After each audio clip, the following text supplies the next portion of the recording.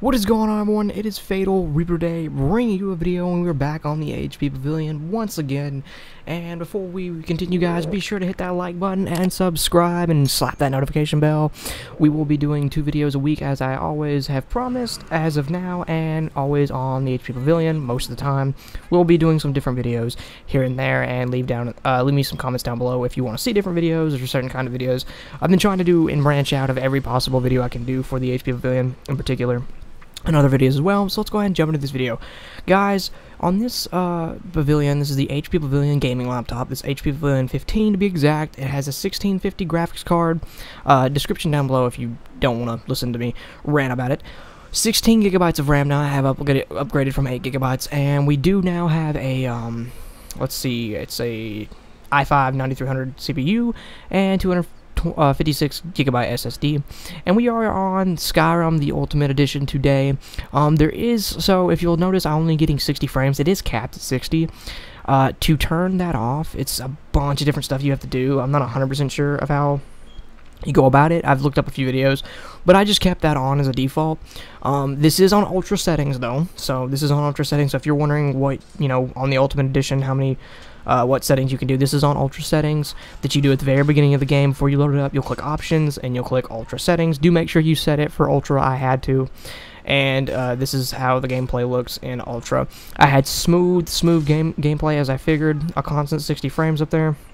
If you do wind up unlock or turning off the VSync and want to do it yourself, you can do that, and you'll probably get more frames since it's capped. I, we can obviously see up there it stayed around 60 so if you were to um, take VSync off I'm sure you would get more frames. Other than that guys it played on uh, you know just flawlessly as always. And again guys I'm going to be bringing you as many videos as I can on the HP Pavilion and more. Skyrim as I promised here um, a lot of people have been saying ask me to do Rust. I will try my best to do Rust here in the near future as well as Borderlands 3 I will be doing. Um, so stay tuned for that guys and hit that subscribe button and like the video. So until next time guys I'll see you in the next video and thanks for watching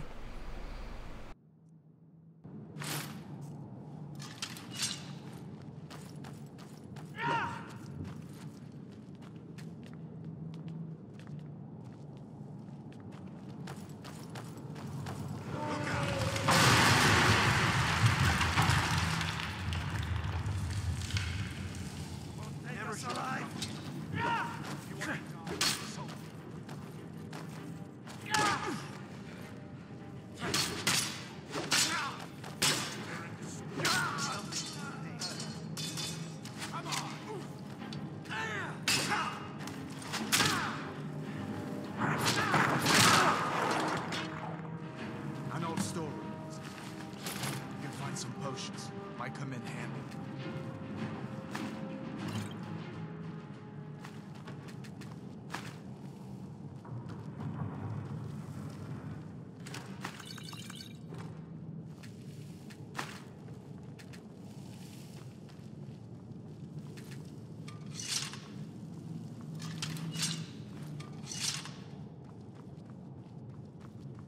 Done then? This way.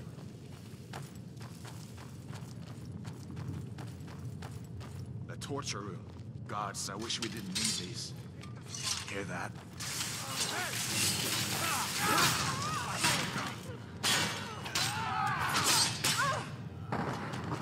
Must have scared them off.